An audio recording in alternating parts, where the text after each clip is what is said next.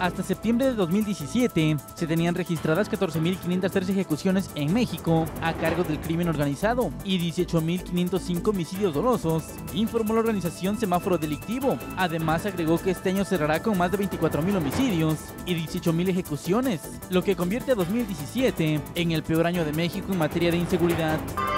El 76% de la población mayor de 18 años de México considera que vivir en su ciudad es inseguro. Así lo reveló la encuesta nacional de seguridad pública urbana del INEGI. De acuerdo con los ciudadanos, las ciudades más inseguras son Villahermosa, Tabasco, Huatzacualcos, Veracruz, Reynosa, Tamaulipas, Ecatepec de Morelos, Estado de México y la región norte y oriente de la Ciudad de México. Además, más del 35.5% de la población consideró que en los próximos 12 meses la situación seguirá igual de mal y el 37% piensa que la situación empeorará.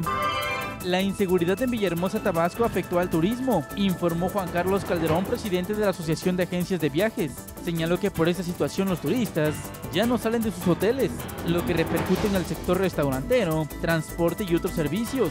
De acuerdo con cifras del INEGI, el 98% de sus habitantes consideran que vivir en Villahermosa es inseguro. Además, ocupa el primer lugar nacional como la ciudad más insegura la Procuraduría General de la República congeló seis cuentas bancarias a Javier Duarte y su esposa Karime Macías como parte de las investigaciones en curso por el presunto desvío de recursos públicos y lavado de dinero en la administración del exmandatario veracruzano. Lo anterior informó con el objetivo de frenar el posible uso de recursos de origen ilícito.